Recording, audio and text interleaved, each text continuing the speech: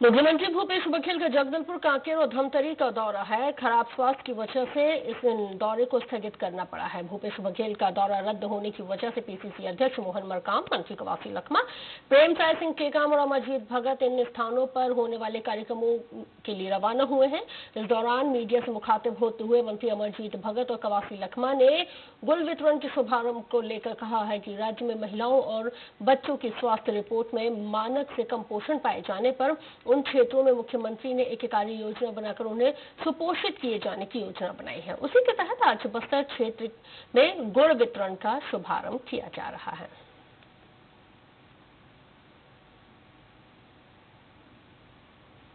संभाग में गुड़ वितरण का शुभारंभ किया जा रहा है।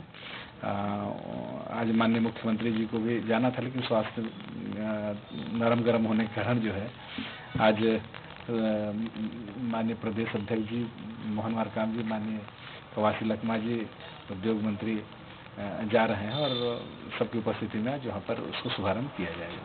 इसलिए हमारा सरकार ने सवाल भी दे रहे हैं, सन्ना भी दे रहे हैं, गुड़ भी दे रहे हैं और गरीब बच्चे को अंडा भी दे रहे हैं। ये हिंदुस्तान का पहला सरकार है, भूपेश बघेल के नेतृत्व का सरकार।